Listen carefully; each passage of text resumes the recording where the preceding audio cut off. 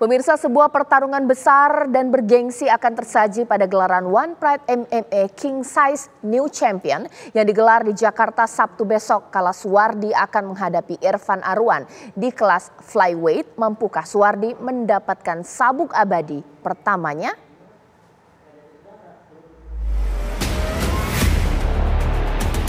Pride MMA 76 menjadi hajatan pertama pada tahun 2024 yang bakal digelar di Hall A Basket Gelora Bung Karno, Jakarta pada Sabtu 3 Februari 2024.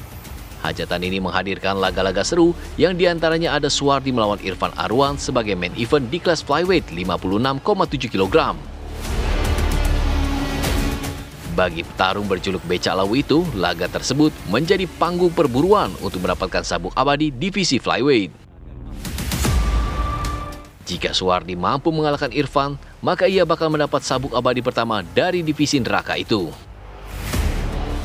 Sebagai informasi, Suwardi merupakan petarung yang telah dua kali berturut-turut menjadi raja divisi flyweight setelah mengalahkan Jeremia Siregar pada tahun 2022 dan menang atas Agus Budi dan Aditya Ginting di tahun 2023. Dan tahun ini, Suwardi akan melawan Irfan Arwan sebagai penantang dalam duel title fight divisi flyweight.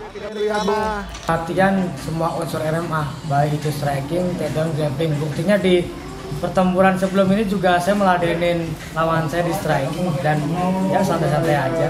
Hmm. Jadi kita bersiap untuk sebuah event MMA, baik itu atas ataupun bawah. Sementara itu, fighter asal pematang siantar Irfan Arwan sudah lebih dari empat bulan melakukan persiapan menghadapi becak lawu. Irfan sudah menyiapkan strategi untuk melepaskan kuncian Suwardi. Yakin, 100% saya yakin. Kalau bisa di ronde ronde 2 udah KO dia.